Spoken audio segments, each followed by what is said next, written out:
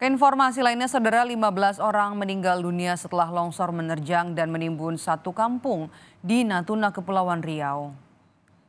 Longsor terjadi di Kecamatan Serasan, Kabupaten Natuna, Kepulauan Riau. Data dari BNPB per jam 8 Senin malam, 15 orang dilaporkan meninggal dunia karena longsor yang terjadi.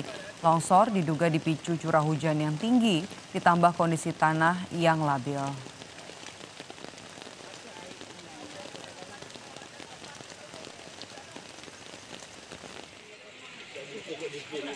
Warga bersama perangkat desa langsung berusaha melakukan penanggulangan bencana longsor, pencarian dan evakuasi korban yang diduga tertimbun jadi terhambat karena belum ada alat berat yang masuk ke kawasan longsor.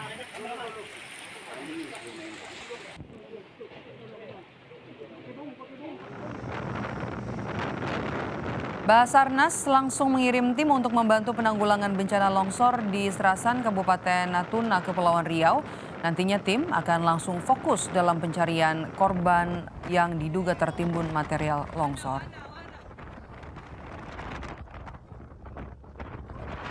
itu belum terkonfirmasi hmm. itu intinya karena bupati pun belum sampai ke, ke tempat hmm. yang tim itu belum sampai ke tempat belum terkonfirmasi yang mudah-mudahan bisa bisa bertambah bisa berkurang gitu hmm. nah karena karena kan tanahnya masih labil nih bisa jadi ada ada to, uh, longsor susulan segala macam gitu hmm. dan itu bukan hanya satu titik ada beberapa titik yang yang apa di samping itu oh, gitu. nah karena cuma di mana apanya bagaimana itu kita belum dapat konfirmasinya terkonfirmasi